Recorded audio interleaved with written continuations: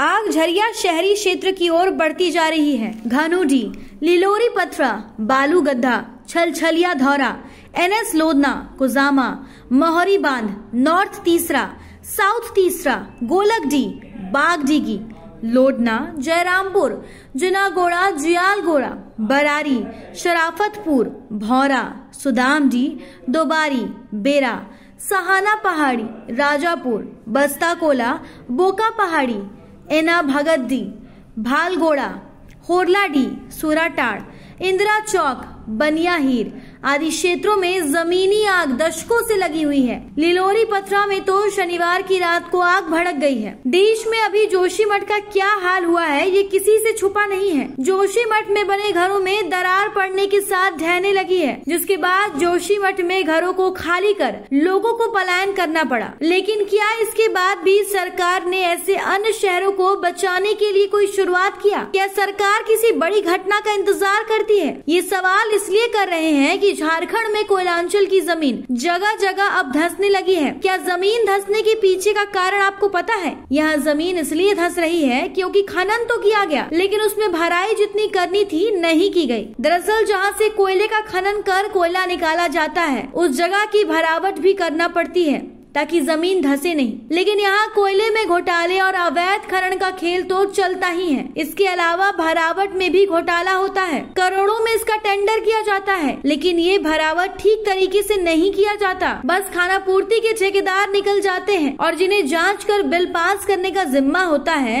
उन्हें भी इसका हिस्सा पहुँचाया जाता है। बस फिर अधिकारी को क्या है? किसी की जान जाए या ज़मीन में घर समाये उन्हें तो बस अपना हिस्सा चाहिए। कोयलांचल में ऐसे कई उदाहरण मिले, जिससे ये साबित होता है कि कोयलांचल की ज़मीन खोखली हो चुकी है। इस ज़मीन में कभी भी कोयलांचल का कुछ हिस्सा समा सकता है। बावजूद सभी चैन की निद्रा में है। 2017 में झरिया में ज़मीन धसने से पिता पुत्र उसमें समा गए थे, जिसके बाद दोनों का शव भी नहीं निकल सका था। इसके अलावा बीच सड़क पर एकाएक ज़मीन धस गई और उसमें एक सांड समा गया। लोगों ने लाख कोशिश कर उसे बाहर निकालने की। लेकिन वो नहीं निकाल सके। ऐसी कई घटना घटी है। बीसीसीएल और ईसीएल की खदानों से हर रोज करीब पिचासी हज़ार टन कोयला निकलता है। वहीं अवैध की बात करें तो लगभग आठ से दस हज़ार टन कोयला निकाला जाता है। बेतहाशा कोयले का खनन किया जा रहा है। वैध कोयला निकालने के बाद अधिकारी और अवैध निकालने के बाद माफिया उसकी परवाह नहीं करते कि उस जगह का बाद में क्या होगा। उन्हें सिर्फ़ खनन से मतलब होता है। ऐसा ही चलता रहा तो वो दिन दूर नहीं। जब जब कोयलांचल का कई हिस्सा इतिहास में ही रह जाएगा। रांची से ब्यूरो रिपोर्ट।